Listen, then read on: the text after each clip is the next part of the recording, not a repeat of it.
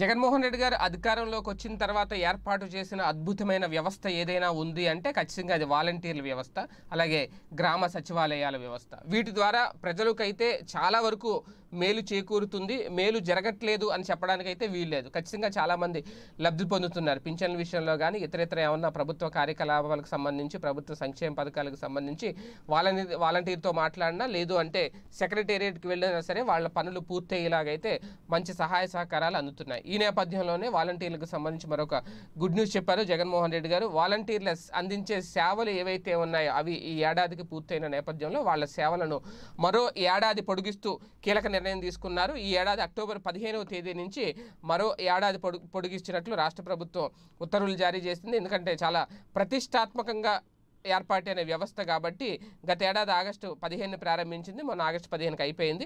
ఆంధ్రప్రదేశ్ ప్రభుత్వం ప్రజల జీవన ప్రమాణాలు మెరుగుపరి మెరుగుపరిచేందుకే ముఖ్యమంత్రి వైఎస్ జగన్మోహన్ రెడ్డి గారి నవరత్నాలు అనే పథకాన్ని తీసుకురావడం.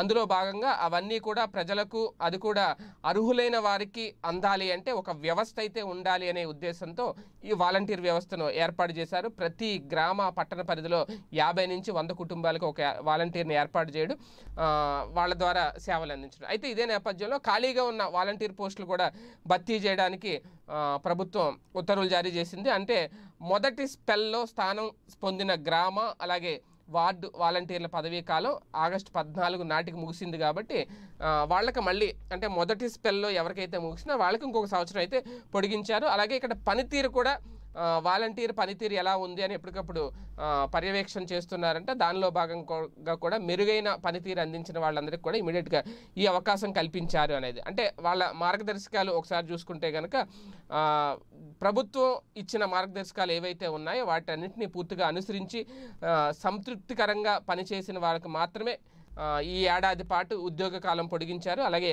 ఫీల్డ్ ఆఫీసర్ల నుంచి అలాగే గ్రామ వాలంటీర్ల పనితీరుకు సంబంధించి ఎప్పటికప్పుడు సమగ్రమైన నివేదిక అయితే తెప్పించుకున్నారు ఉన్నతాధికారులు. జాయింట్ కలెక్టర్ల ఆదేశాలతో వీళ్ళ పదవీ కాలం అయితే పొడిగించారు. మొత్తం ఆంధ్రప్రదేశ్ రాష్ట్రంలో ప్రస్తుతం రెండు పాయింట్ ఆరు లక్షల మంది వాలంటీర్ల పదవీ కాలాన్ని పొడిగిస్తున్నట్లు ప్రభుత్వం అధికారికంగా ప్రకటించింది.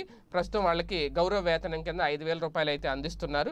దీనికి సంబంధించి రాష్ట్ర ఖజానాకు పదిహేను వందల అరవై కోట్ల రూపాయలు ఖర్చు అవుతుంది వాలంటీర్లకు ఇస్తున్న గౌరవ వేతనాలకు సంబంధించి. మొత్తానికి మరొక ఏడాది వాళ్ళ పదవీ కాలాన్ని పొడిగించడం అనేది నిజంగా శుభ పరిణామమే అంటున్నారు రాజకీయ విశ్లేషకులు.